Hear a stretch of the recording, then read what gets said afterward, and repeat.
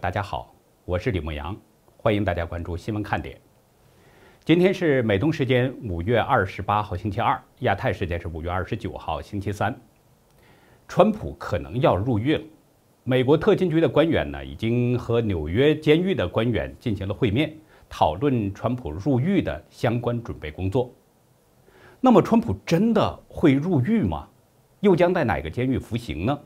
后面其实还有一连串的问题。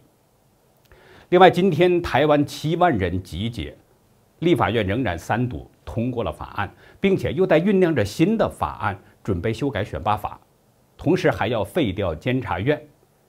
现在台湾面临的危机已经来了，那么这个危局有没有挽回的可能呢？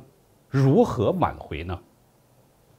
我们先说轰动世界的大消息，今天中午，美国资深编辑。也是资深的海军情报官杰克波索，他发了一个推文表示，哥伦比亚广播公司 CBS 报道呢，特勤局会见了纽约当地监狱官员，讨论川普总统入狱的准备工作。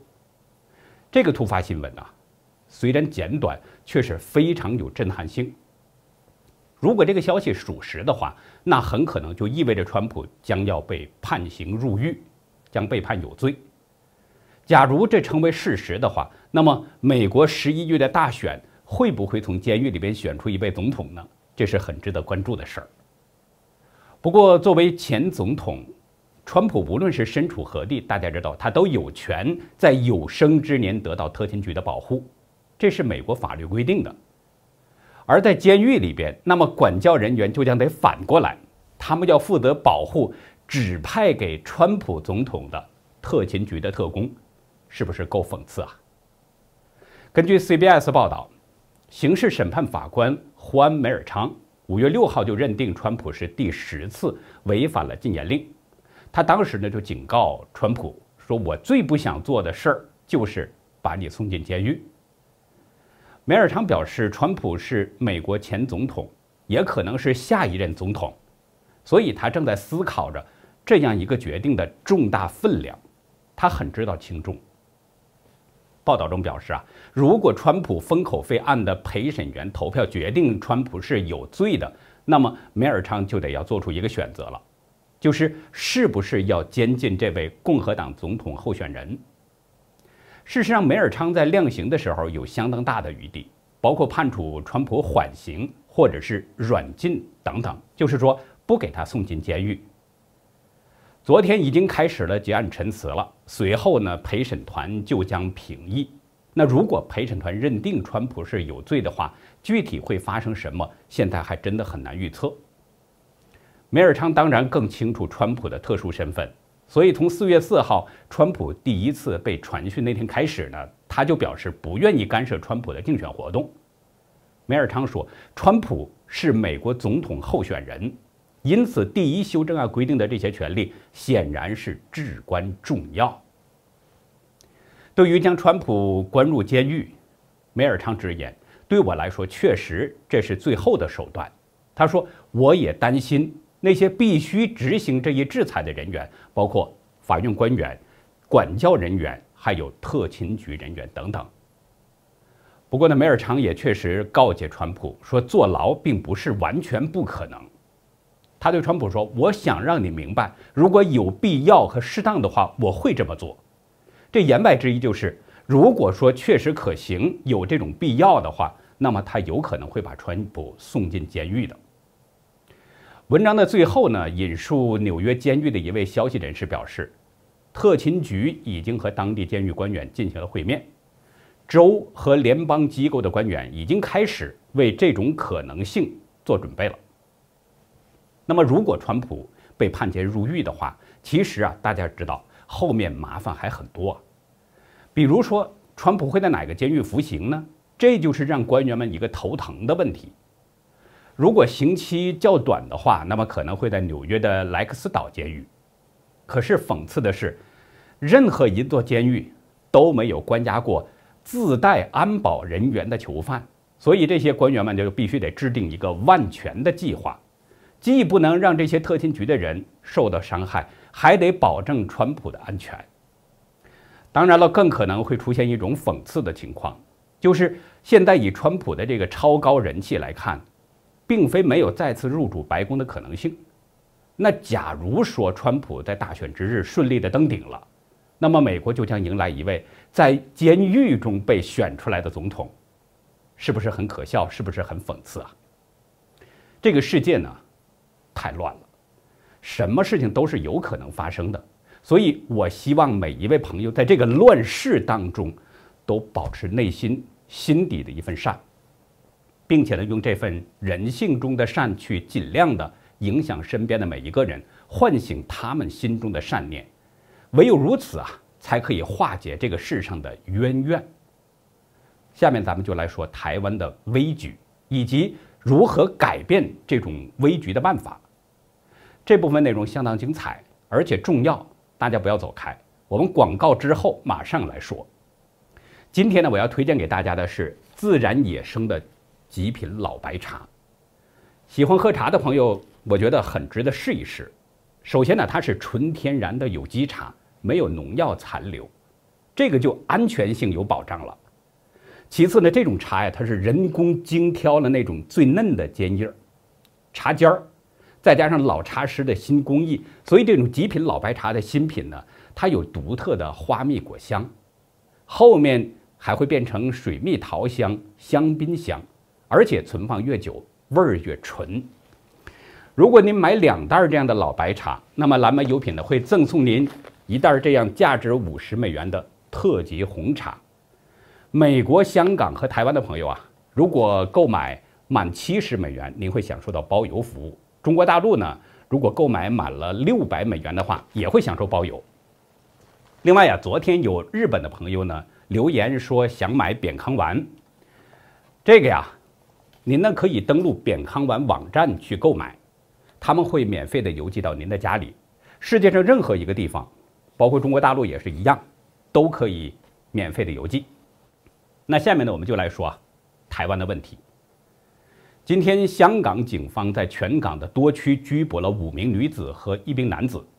现在已知的三个人分别是正在监狱中的支联会前副主席邹幸彤，还有他的母亲，也是前香港支联会常委刘佳怡，还有一位是前香港区议员陈建勤。另外的三个人呢，也是替邹幸彤在脸书专业“小童群抽会”。发布六次相关讯息的人士，香港保安局局长邓炳强今天主动的会见了记者。他表示，邹幸彤通过被抓捕的这五个人，从今年四月就开始利用某个将至的敏感日子，以匿名方式持续发布有煽动意义的帖文，挑起市民对中共当局和香港政府的仇恨，意图煽动网民参与非法活动。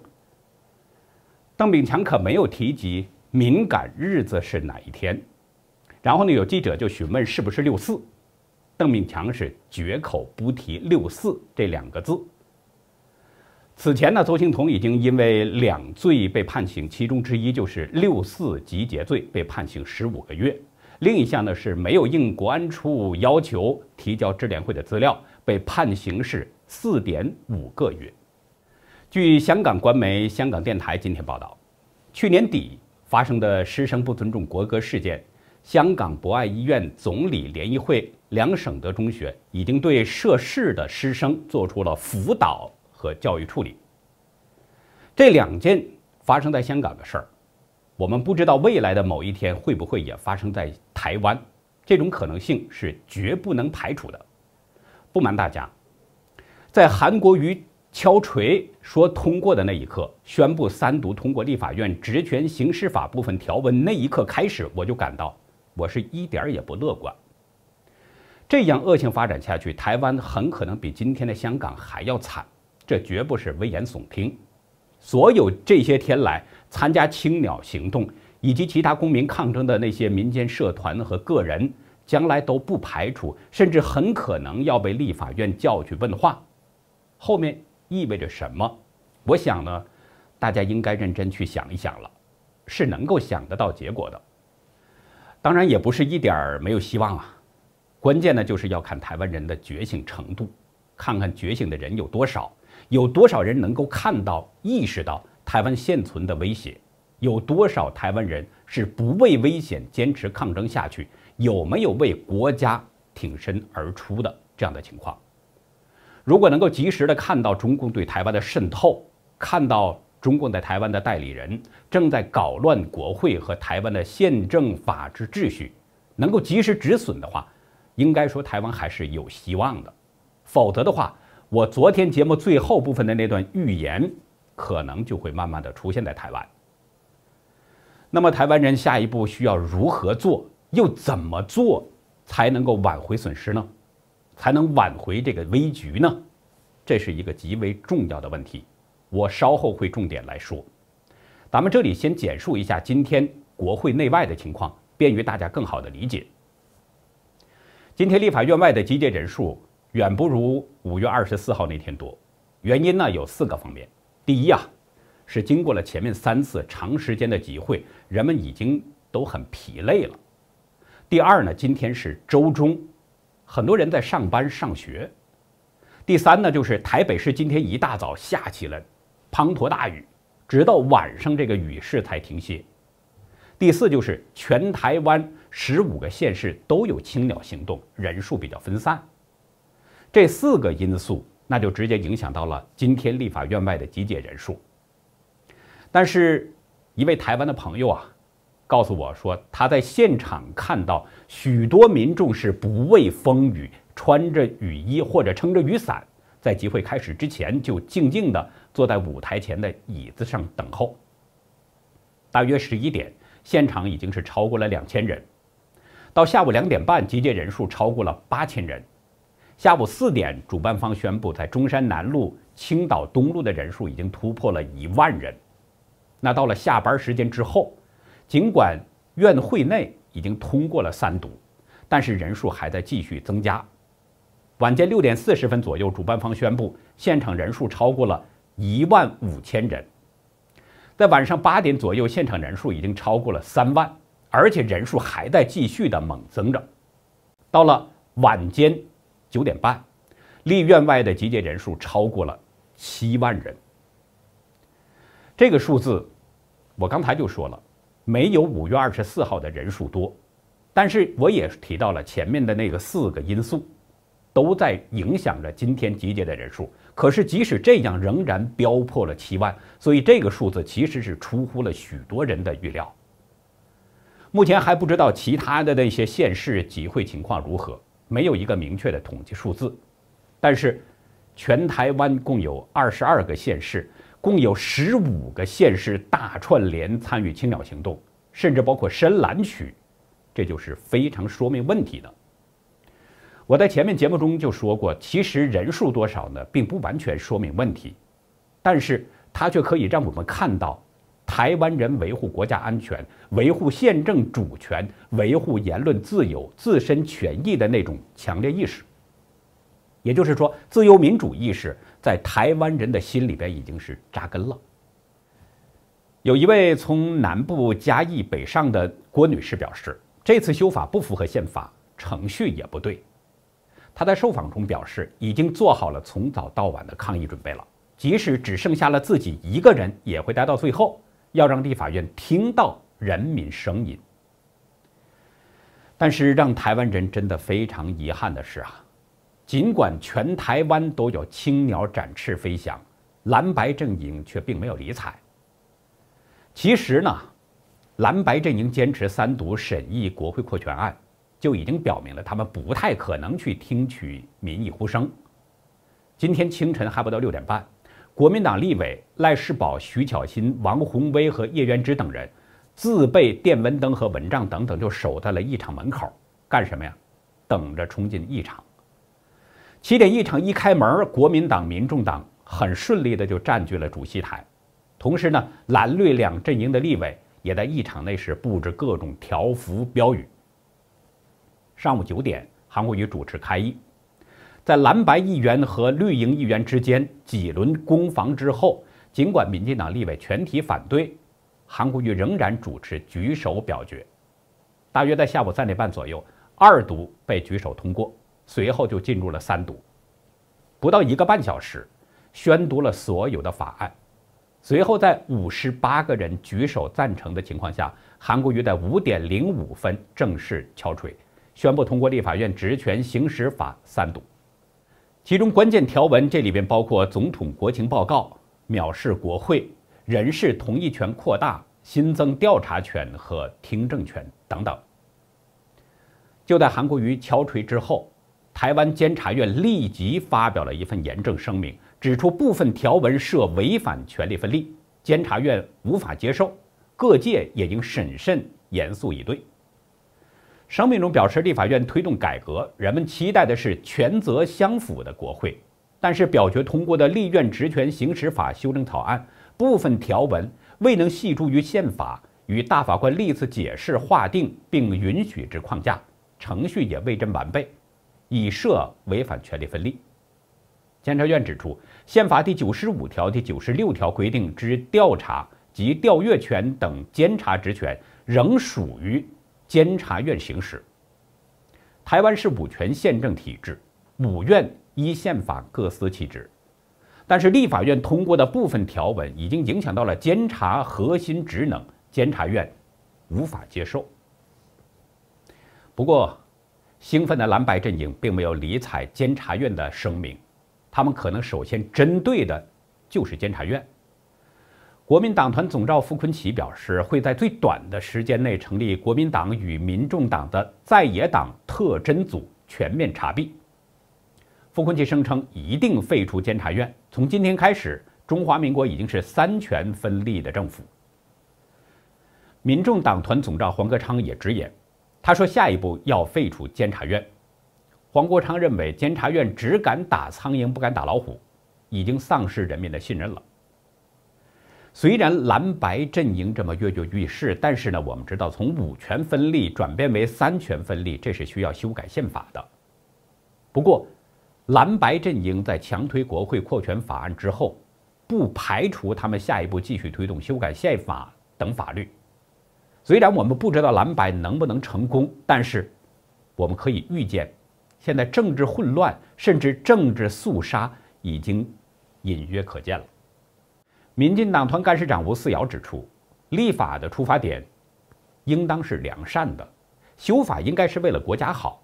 但蓝白强行联手碾压国会扩权法案，是出于报仇和仇恨的做法。蓝白两党想报复民进党，也不该报复人民和国家。吴思瑶表示，韩国瑜担任立法院院长不到三个月，却创下了立院三十多年来没有过的恶例。黑箱条文透明公开在哪儿？就连三读程序也可以黑箱，最后一刻修正文字也没有送文件。他痛批民主审查全部失灵，议事规则会转弯，一路坐票到底。这不是国会改革，而是国会文革。民进党团总召柯建明则说：“五二八是国耻日。”他直指韩国瑜毫不行政中立，不遵守程序正义，绝对是历史罪人。何建明说：“中华民国民主堡垒已经被北京长臂管辖，被戒严了。”何建明表示，他一直告诉韩国瑜，只要讲一句话，休息协商程序重来，而韩国瑜完全不顾程序正义。因为韩国瑜听命于北京，何建明指出，这是国家级危机，所以才有这么多民意反扑，站在立法院外面。民进党立委邱毅莹在脸书揭露了中共国台办的文件，其中提到要蓝白力量合作，建立国会调查听证权，甚至推动总统赴立院做国情报告，行政院长应获得立院多数支持才能任命。强化重要部会到立法院听证等等。邱毅莹痛批国民党和民众党的作为是完全印证中共的指示。邱意莹指出，这是蓝白两党发动的一场立院政变。中研院副研究员吴瑞仁在演讲中表示，国会职权修法最终得利的是北京。他指出，法案三读通过后，危机才开始。蓝白将透过相关做法凌迟台湾。台湾将要面临的情况啊，说起来真的是令人十分忧心。吴瑞仁表示，这几次活动让他想起了当初参与香港反送中的年轻学子。香港学生曾提过，不是因希望才坚持，而是坚持才有希望。他希望台湾的公民呢要了解，自由是前辈用生命换来的，需要每个人捧在手心里呵护。另外一位中研院副研究员、黑熊协会理事长刘文则指出，蓝白利用制度滥权，并与中共里应外合，架空台湾政府的行政权。他表示，国会扩权只是开始，中共将利用台湾的民主自由造成内部混乱。刘文强调。台湾要面对的只有侵略和被侵略，没有所谓的保持中立情形。他呼吁台湾不能走回头路，希望台湾公民保持跨时代对话，并保持爱台湾的心，就不会输给投机政客。联电创办人曹兴诚老先生啊，在演讲中则指出，四月二十六号，傅昆萁带着十六个国民党立委去北京见了中共政治局常委王沪宁。王沪宁的主要任务就是要消灭台湾，他联合傅昆萁要来打倒我们，进入台湾国会来破坏民主。曹兴诚指出，这群人从中国回来，马上修法要搞烂台湾的民主，国会已经被老鼠屎破坏了，变成了有毒的国会。所以他提出一个口号：“青鸟不吃老鼠屎，拒绝服从毒国会。”他呼吁一年后就要把这些立委。罢免掉。其实这里我要说呀，罢免一些卖台立委呢是必须要做的，可是要等到一年之后才行，这个时间未免有点拖得太长了，因为留给台湾的时间可真的已经不多了。有消息说蓝白两党已经在酝酿提高罢免立委的门槛了，要求同意罢免的人数必须要多于当时投票给他们的人，否则的话就不能罢免。此前呢，我就提到过，蓝白阵营在强推国会扩权法案成功之后，他们下一步很可能会修改选罢法。那现在这个传闻已经是很让人担心未来的情况了。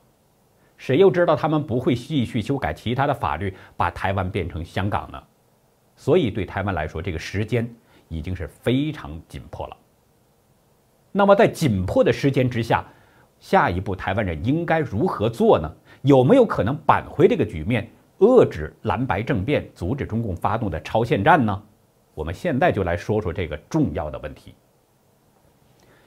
经民联召集人赖中强律师表示，公民团体有六个行动方案：首先是公民团体要求行政院提出复议；其次是呼吁行政院及民进党立法院党团就修法违宪部分申请释宪；第三是要求与立法院长韩国瑜。会面对话，第四是推动草根民主对话，呼吁各地的公民团体与自主公民到国民党立委的选区举办社区座谈，让地方选民知道国会滥权法案有多离谱。第五是成立台湾公民阵线新北工作队，使行动组织化。第六是公民阵线新北市公民团体和本土小党发起前进新北社会对话行动。到新北市国民党立委选区举办社区对谈，说明法案问题。其实，在我看来，这六个行动当中呢，后面的四个需要时间，可以慢慢去做；而前两个则是需要分秒必争的，这是容不得任何拖延的。我们重点来说这两个。阻止法案生效的第一步就是行政院对法案进行评估。这个呢是行政院在十天之内必须要给出一个定论。那么，行政院给出定论会有两种可能性存在：一种就是行政院认为法案没问题，也就是说，行政院接受了立法院通过的法案，然后要呈交给总统进行颁布，法案将在指定的日期生效。如果没有指定日期呢，将在公布或者是发布之日的第三天自动生效。另一种可能就是行政院认为法案挚爱难行，所以提出复议，经总统核可，将已通过的法案退回到立法院。那么这个时候，立法院就必须得有超过二分之一、一半以上，也就是超过五十七席的委员要同意复议。那么这样的话，法案将被否决，自动失效。如果立法院不够二分之一，也就是说没有达到五十七席位，这样的委员同意复议的话，还将维持原案。如果立法院呢是在休会期间的话，那么在七天之内，他们将自行集会，在十五天内做成决议。如果逾期没有决议的话，那就视为是原决议失效。如果要是维持原案的法案，将呈交给总统公布，然后法案将生效。按照中华民国的宪法，总统在收到法案的十天之内要公布立法院的决议。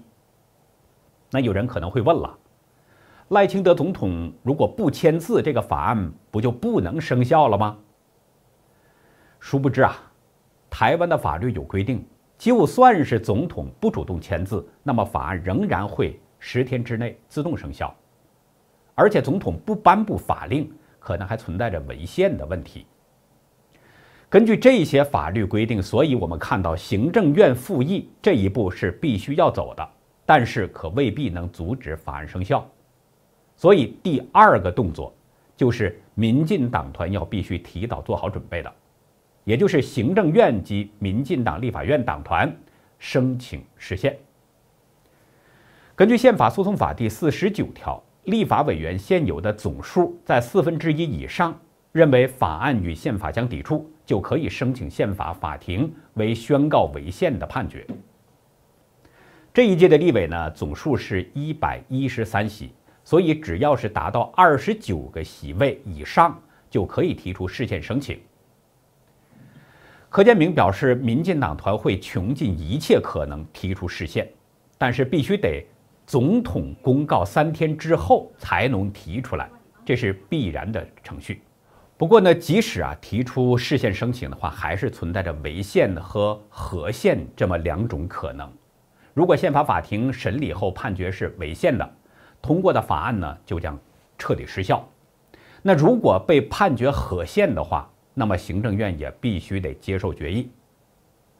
如果到了这一步，也不是说没有再扳回的可能。台湾民众还有最后一步，这个就是需要时间了，也就是需要等到全民公投，由人民提案法律复决公投，向中选会提出全国性复决案。